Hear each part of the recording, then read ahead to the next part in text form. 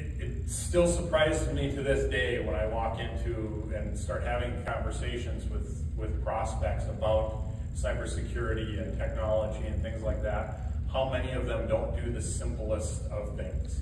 And one of those things is multi-factor authentication. It has been around for a long time.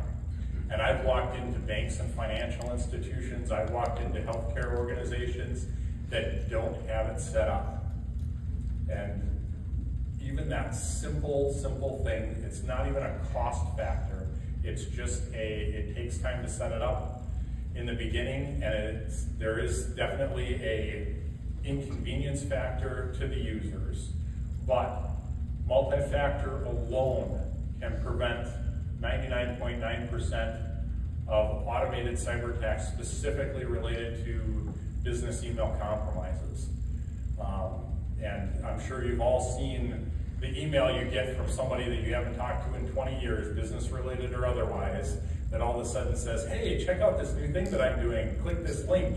And you look at it and half the words are spelled wrong or the sentences are out of order or something. And you're like, that, you know, John seemed really smart last time I talked to him. Where did this come from? you know? So there's a lot of that that happens. And again, it's one of those things that once that genie is out of the bottle, it's hard to put it back in.